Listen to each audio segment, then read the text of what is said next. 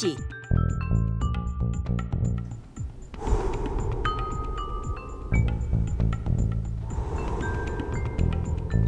Zviditeľni.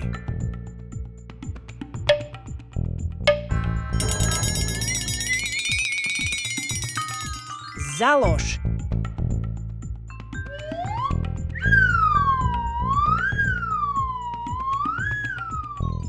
Zmeň. 4Z. Zisti. Zviditeľni. Založ. Zmeň. 4Z.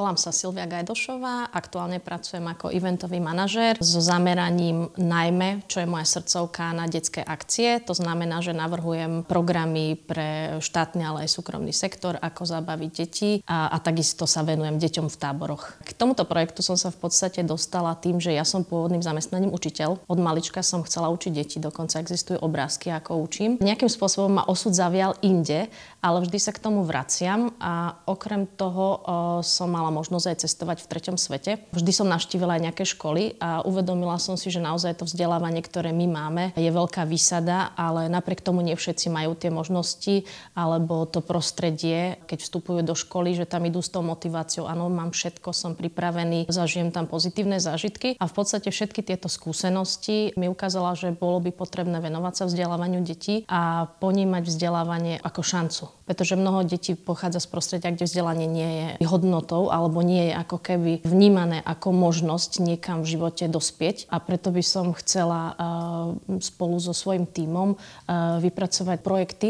Zrejme jedna vec nie je dostačujúca, ako uh, pomôcť deťom pri štarte do školy. Úplne jednoducho to sú učebné pomôcky, ale samozrejme sme sa tu rozprávali o tom, že to je iba ako keby taká základná vec, že treba ísť určite aj hlbšie. Takže by sme sa chceli venovať ako keby vzdelávaniu detí, ukázať im aj nejaké možnosť budovať pozitívne vzťahy s tým vzdelávaním, aby v živote mali na výber. Teraz konkrétne v lete som bola v Tanzánii, to znamená, že také čerstvé, čo mi napadlo, aj mám kontakty tam na školu a dá sa im naozaj veľmi jednoducho pomôcť. To znamená, že určite uh, toto by bol projekt, ktorý má predpripravenú pôdu na to, aby bol úspešný keďže personálne aj obsahové už nápady sú. Ale samozrejme to Slovensko je vždy krajina, kde to vidíme každodenne, že to vzdelávanie naozaj potrebuje podporu a pomoc. Mnohé veci sú zastaralé, keďže ja som aj z učiteľskej rodiny, takže sa o tom často bavíme, že toto je vec, kde by sa malo udiať veľa zmien. Takže viem si určite predstaviť aj, a teda je potrebná aj práca tu na Slovensku. Napríklad ja som v Nitre, Takže uh, tam je tiež, uh, mám ako keby kontakty známych, uh, kde by takáto pomoc bola veľmi vítaná. Deti zo sociálne slabších rodín, napríklad krizové centrum, tam máme detský domov, tam máme toto vzdelávanie je veľmi dôležité, aby človek si svoje nejaké nápady alebo svoje vízie tak utriasol do praxe. Pretože jedna vec je mať nápad a druhá vec je zrealizovať a tretia vec je zrealizovať ho tak, aby tam bol aj nejaký výsledok ktorý je hmatateľný pre nejakú skupinu ľudí, ideálne čím pre väčšiu. A myslím si, že toto je ako keby možnosť e, sa naučiť, ako to spraviť. Už s tým, že viem ako, viem, viem s kým, viem sa vystrihať nejakým chybám. Takže je tu také ako keby vedenie, pretože nápady my máme, keďže máme aj skúsenosti s prácou detí, aj s charitou. E, veľa som pracovala aj v tomto. Popri eventoch vždy sa snažím hľadať cestu, ako by sa dalo spraviť aj niečo. Ale toto je ako keby oveľa viac do hĺbky a, a ten kontext je širší ako jednorazová akcia, čo je vlastne moja práca.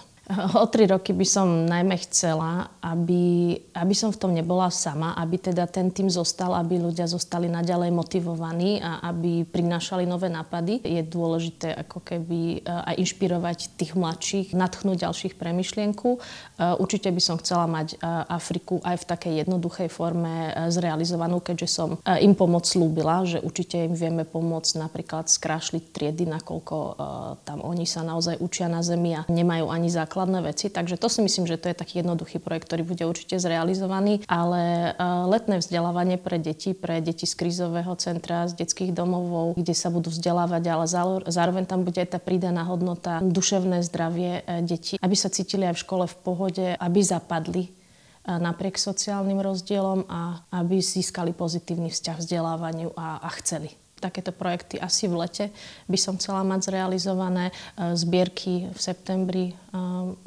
nejaké školské pomocky a, a tú Afriku. Sám človek vždy zvládne oveľa menej ako v tej synergii Takže ja som zastancom toho, že sa treba spájať aj, aj teraz k veci, na ktorých som robila, tak som robila pre iné OZ, zháňala im sponzorov alebo vymyslela im projekty. A videla som, že keď sa dali dokopy traja ľudia napríklad ako tri rôzne organizácie, že ten efekt aj ten dosah, aj už len úplne jednoduché zdieľanie na sociálnych sieťach, ten hlas e, je silnejší, takže e, nechcem byť v tomto sama v žiadnom prípade.